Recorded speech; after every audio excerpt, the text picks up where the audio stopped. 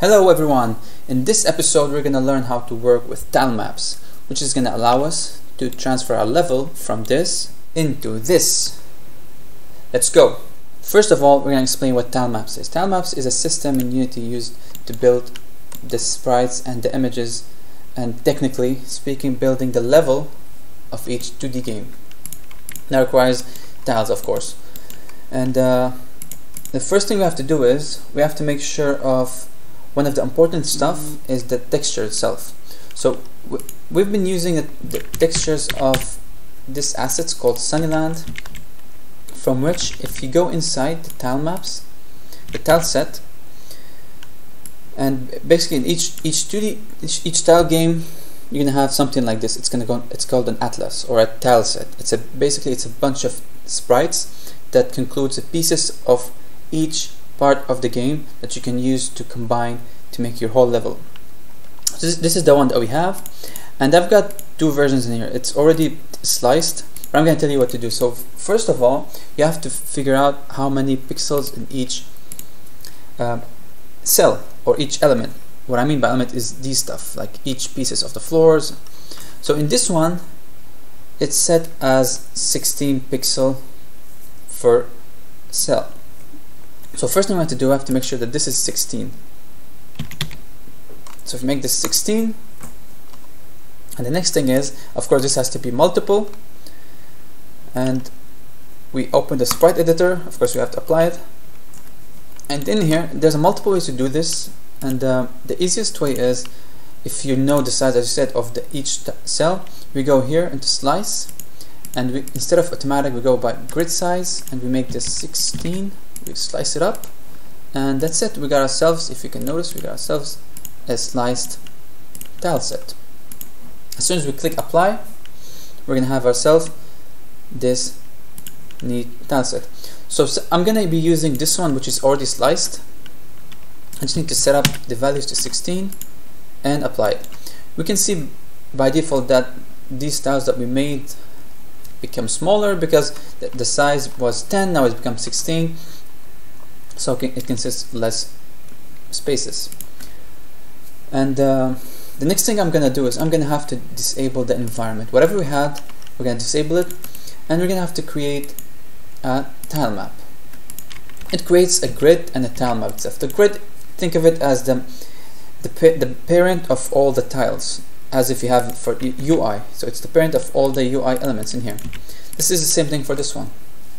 And tile map is the uh, I want to say layer but it's not really layer but let's go with this is a group of the tiles that we want to put in here. So we can have multiple of those. So um, let's create one called tile map background. And you have the settings in here. So tile map is basically the stuff that we need in here. You can modify the animations in here.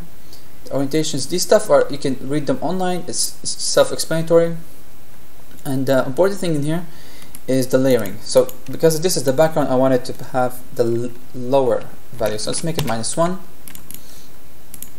Let's make another one. I'm going to copy and paste this. Let's call this one floors and walls. I'm going to explain why we call the floors and walls. This is going to be the uh, the tiles that's going to collide with our player. Like you know, we can we jump on, we stand on the floor, and uh, we can go through walls. So this is going to be the main one. The other, the last one will be I'm going to call it props. And of course, let's not forget that floors and walls has to have the layer of zero, and uh, this one let's make it one, so it's going to appear in front in front of it. Next thing we need to do is we need to open up the tile palette. So tile palette is this, it's self-explanatory. It's just the same as the uh, drawing palette which you can put your colors in here. Instead of colors we have sorry we have sprites. First thing we need to do is before we go ahead and explain what are the tools in here this is the whole area where we're gonna see our sprites. We're gonna create a new palette and let's call it I'm gonna call it uh, main palette uh, I call it main because I only have one palette so if you have multiple palettes make sure to have them different like props uh, floors walls you know all of this stuff. So I'm gonna create we're gonna also save this in a folder. Let's call it tile maps. Oops. I think I forgot to delete this one the old one tile maps. And inside let's go make a folder called palettes so that's it as soon as we do this we can see that in the tile maps tile palettes we have the main palette. And it has all the stuff like the same things that we need in here. If you want to work with gaps and stuff this is all what you need to work with. More details in the documentations in Unity. So let's go back here in the palette itself. In order to, to import the tiles in here you have to go to the texture that we actually spoke about which is the tile set sliced and hold it as, as it is not these separate ones unless you want to make a separate tiles for flooring others for uh, I don't know like ceilings. You can separate you can drag and drop them separately but to, to import all, all of it just drag it and drop it in here. And whenever we drag and drop the tiles the sprites into a tile a palette it's going to create tile assets. And again since I have only one tile I'm gonna make it put it in the root folder of the assets but if you have multiple it's better to have it separated so let's wait for this to finish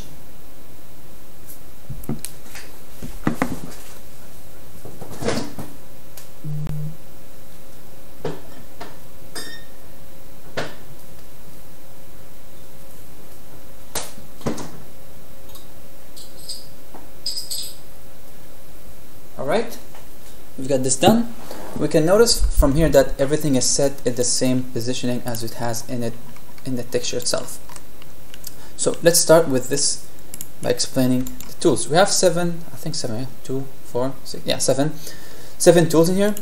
The cursor is basically the cursor. You can move around, drag, drop stuff. The move, as soon as you move, as soon as you grab stuff, you can move them around with the move tool.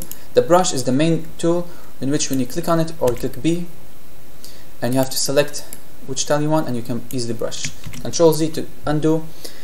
The paint is the whole it's like drag and dropping a whole bunch of stuff in the same place. So you can have it with this or that. So it's all up to you.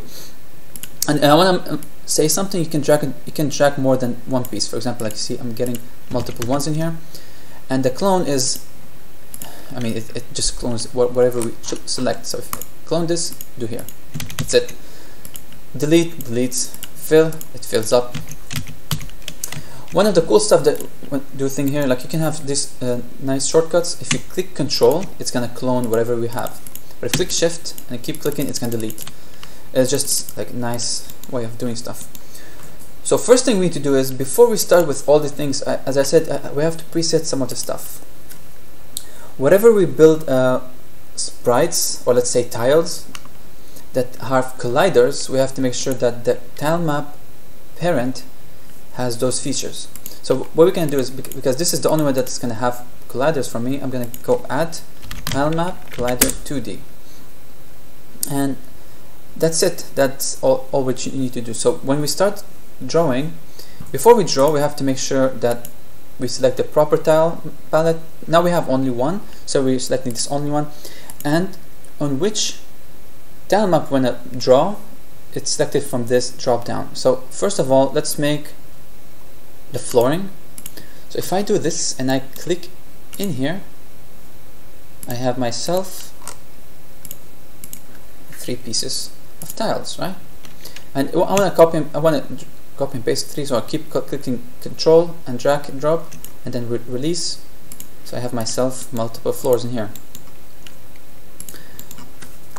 so what I'm gonna do is I'm gonna build a tiny level for the floors and props and then we're, gonna create the background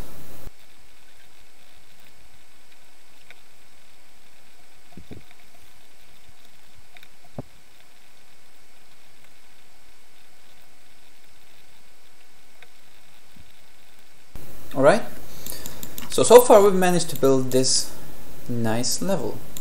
Oh, let me make sure that this has the same height of this one here.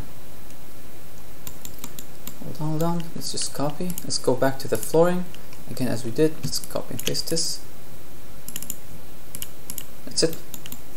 We're good. So we've finished the floors, the walls, and some props. Now we have to do the background. So background is also easy we've got this background image of the whole thing so if this is gonna be treated as one piece So what we need to do is we need to create a new palette, call it background, or just call it sky, you know, it's, it's nicer. So it, have to go back here, palettes, and create it here, drag and drop it, and have go back to the assets, put it here. So it's it's kind of take care of doing the whole, you know, positioning and everything for you. So have to work, you have to worry only about placing the whole thing in the map. So place it in a, in, a, in a way that looks nice. I think that's fine. We're good. As soon as we finish, we can close the tile palette or hide it somewhere else. So it's up to you. So with this, we have ourselves built level, and you can notice while we move the mouse, there's some seams in the scene, right? And they are visible even in, in here. So these are because of the pixels in between each cell. To fix this, there's multiple ways to do this. Uh, it's not only one thing. So try do this whole steps together. First of all, I have to make sure that there's no compression in in that texture that has all the tiles. And next thing, make sure this is point. Also, and uh, go into the uh, let's go back here, project settings, quality, and that anti-aliasing should be disabled and that should fix it. But if it did not just like how for me I had to go look online to find a lot of ways and then uh, one of them is to have this workaround in which you have to check your texture the main texture for tiles if it and change this number of the pixel per unit to the similar number but less than 0.1 so we're gonna make it 15.9 and we're gonna apply it and everything should be fine we're good. So right now if we start the game we'll be able to run around and move. Oh I forgot to do one thing. The floor and the wall should have the layer of the ground. That's that's important. As soon as we do this we have our character running around and jumping.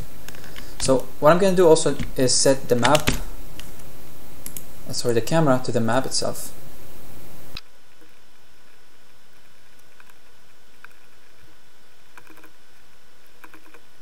alright we're good.